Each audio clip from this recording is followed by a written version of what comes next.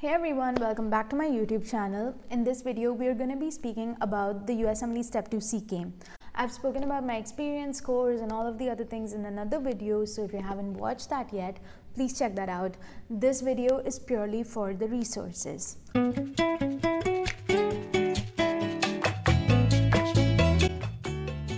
Make this easy, I have divided my prep into four phases. The major difference between preparing for step 1 and step 2 resource wise is that there is no proper textbook for step 2 because in step 1 we've got first aid as a proper book for step 1 but in step 2 there is no such resource if you ask me what is the gold standard resource for step 2 CK, I'd say it's UWorld. One of the biggest mistakes I see people make is that they start UWorld and they don't get a good percentage in it and they feel really demotivated about it. And I completely understand that it can be very demoralizing, but I want you to know that UWorld is a learning tool. Do not use it to test yourself, especially the first pass of UWorld. It's purely for learning. Get even a 30%, it's fine. But you need to make sure you're learning from the explanations. So what you should do, there's always like UWorld first pass and UWorld second pass. So UWorld first pass is when you do the whole thing for the first time and second pass is when you do it for the second time. So while doing your first pass, make sure you're reading the explanation under each and every question clearly because the whole point of using UWorld as a learning tool is to not just know why your answer is correct or why the other answer is wrong, but to also find out all the extra information given under the explanation for each of the options.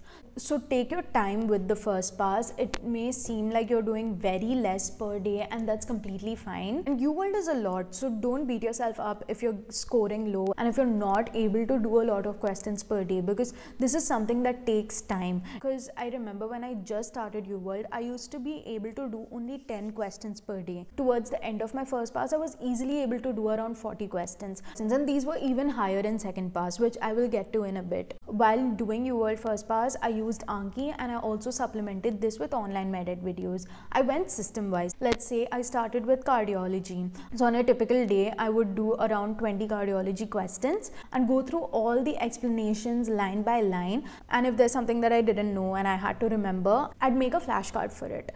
And if I came across some concept that I did not understand, I'd go and watch Online MedEd videos for them. You'll watch a video and right below the video there's a discussion. Many people post their doubts over there. People try to answer that and help them out. And there's a lot of discussion that goes on under each video. So I feel that is also super helpful because you're not only just consuming information from the video, you're also able to get different perspectives and some of these doubts are stuff you may not have even thought about before. Since someone brought it up, you learned a new things. So that's one more thing that I like about Online MedEd videos. I initially thought of watching all their videos, but then I realized it wasn't required. So I just watched it for the topics that I found hard.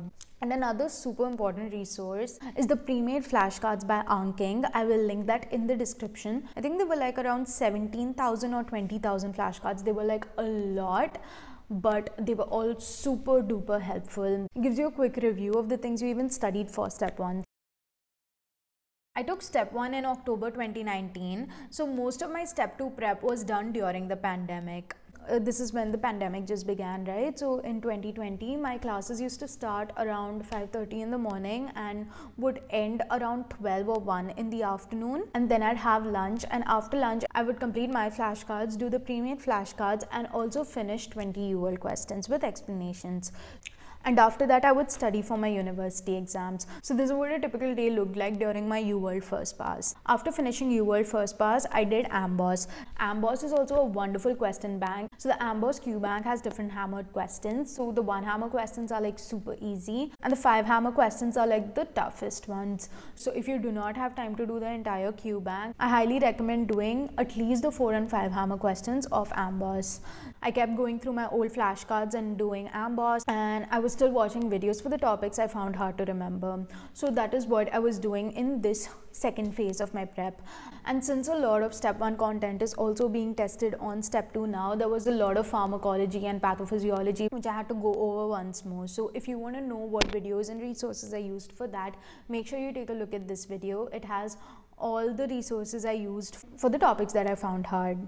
After completing UWorld first pass, I completed AMBOSS and then after that I went to UWorld second pass. Now UWorld second pass, this is when you can do questions super quickly because you're not going to be making any flashcards right now. You're not going to be taking any notes right now. So all you have to focus on is getting through questions. Now this is when you can start testing yourself. Try to see if you're able to complete the questions on time. Try to see why you're making mistakes. This is when you can use UWorld as a testing tool. So in this, I was able to do at least like 40 to 80 questions per day. Some people were also able to do close to 100. So it just depends on you and the amount of time you can dedicate for your preparation. But try at least 40 in one sitting because you will know if you're able to manage your time properly. You'll be able to know if you're reading questions properly under the time pressure. So all of that matters. So, so, try to time yourself and try to do at least 40 questions a day. And like i mentioned before you're not going to be taking a lot of notes this time so it's going to be quicker. And if you feel you're still getting questions wrong you can watch videos try to understand why you're making that mistake. While doing UWorld second pass i was also doing the flashcards by Anking and also my own flashcards the fourth and final phase of my prep was purely used for testing myself. This is when I used NBMEs. Now the NBME has two separate kinds of tests for step 2. You have the clinical mastery series known as CMS and you have your normal NBME clinical self-assessment forms. CMS consists of 6 forms for each of the following subjects. Each form has a set of 50 questions and the cost of each of these forms is about $20. Out of all the forms, I believe forms 5 and 6 of each of these subjects are the most relevant. So even if you don't have time to do the older forms, it's completely fine. But make sure you do form 5 and 6 so those forms were really good for me to test myself and to understand what exactly my weaknesses were closer to the exam. Then comes the usual NBME self-assessments. These are very similar to the ones in step 1. This was the case last year. So I think uh, right now there are newer forms 10 and 11. So if you feel NBME 10 and 11 were predictive, please let me know in the comments below. That would be very helpful for other people who are watching this video. So when you think about it, in step 2 CK, they ask you questions like screening tests, diagnostic tests, management protocols and things like that. And these are things that keep changing. Because I remember when I took step 2 CK, we had to start the colonoscopy screening at the age of 50 but I think maybe a month or two after I took the exam, they changed the screening guidelines in such a way that it would start at the age of 45. So this is why even if you know a particular answer that is valid for today, the Q Bank may show that it is wrong because the Q Bank was made way back when the guidelines were different. So this is why the older NBMEs and the older Q Banks may not be as useful for step 2 CK. So make sure you always use the latest Q Bank and stick to the latest information. And if there's any contradicting information, just go check UWorld. I think around Jan or Feb, that's when I got to know about Divine Intervention podcast. I got to know this super late, but they're so, so, so, so so helpful. I have an entire video on this spoken about the list of important episodes, how I use this particular resource and the duration of individual episodes. So if you watch that, you will know which episodes are important for you and you can sort of understand how much time it will take you to complete it. And that way you can plan the thing better. So if you choose to use Divine Intervention podcast, do check that video out before you watch them. And then I did my UWorld self-assessment 1 and self-assessment 2. So those were all the the resources that I used for Step 2 CK. If you want to check out my USMLE Step 2 CK exam experience, go check this video out and this is my USMLE Step 2 CK vlog. Go check that out and if you have any questions regarding this, please leave them in the comments. I'll be happy to address them. Thank you for watching and I'll see you next time.